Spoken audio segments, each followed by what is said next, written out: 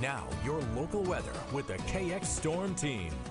Well, we have finally gotten a quiet day without severe weather here, but that might be changing over the next couple of hours. So I'm going to jump right into it. Here's a look at the satellite and radar picture here. You can see all of North Dakota is nice and quiet right now. In fact, very little cloud cover out there.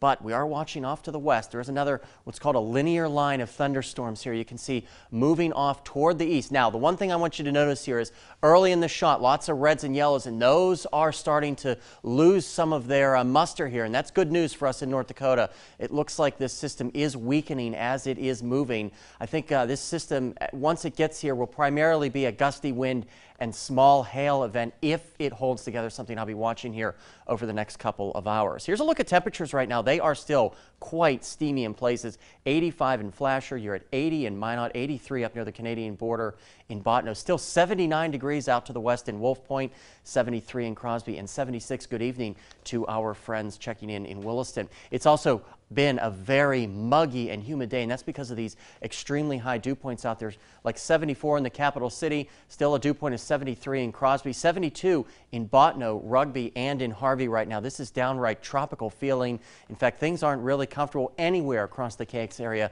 A very muggy Sunday night. And that mugginess could cause some storms here as we roll through precision cast. You can see that system moving from the west to the east, but as this model is showing us, it does lose a lot of its punch as we go through the early morning hours so that by 10 a.m., maybe a couple showers to the south of Bismarck in southern Morton and northern Sioux County, but that is about it. Tomorrow, uh, Storm Prediction Center saying just a marginal chance for severe storms, so widely isolated. I think tomorrow should be a mostly dry day. So your forecast tonight for the capital city looking like this 67 degrees. Still can't roll out the chance for an isolated thunderstorm, but we should have mostly clear skies with those south winds at 5 to 8 miles an hour. In the Magic City, you will dip to 66 degrees. Still a chance for a scattered thunderstorm. I think the best chance between midnight and 4 a.m., but otherwise a quiet night. Lows elsewhere tonight will be muggy, not the best sleeping night. 67 in Bismarck and Flasher. 70 is all you'll fall to in Linton and Medina. And then 66 tonight, as I said,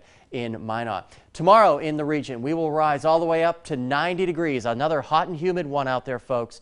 So make sure that you dress in light colored clothing to keep yourself cool. 87 in Minot. We'll be a little bit breezier at time. You can see there those winds gusting to 25 miles an hour. Highs elsewhere tomorrow. Hot everywhere across the board. 92 in Mobridge, 90 in Linton, and 85 in Wolf Point. Here's a look at your five-day forecast for the Dickinson area. Can't rule out the chance for a shower or a storm every day through Thursday. Temperatures finally cooling off here as we go through the week. Same thing applies for Williston. You can see there a mostly sunny day tomorrow and then the chance for a, a storm Tuesday through Thursday. And here is your extended forecast for the capital city. A hot and humid one to start the week and then the chance for thunderstorms Tuesday, Wednesday, and Thursday before we dry out. And then slightly cooler temperatures, actually where we should be for this time of the year in the mid 80s. And here's a look at your extended forecast for Minot. Uh, pretty much the same thing, Renee. Chance for a shower or storm Tuesday through Thursday and then sunshine returns.